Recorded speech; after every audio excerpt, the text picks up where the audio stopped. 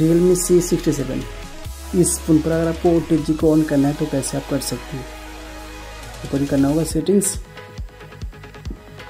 Settings पर additional settings additional settings पर आपको मिल जाएगा ओ टी जी ऑप्शन जैसे आप ओ टी जी को ऑन कर सकती हैं। और ये वीडियो को हेल्प हो तो प्लीज़ इस वीडियो को एक लाइक कर दीजिएगा।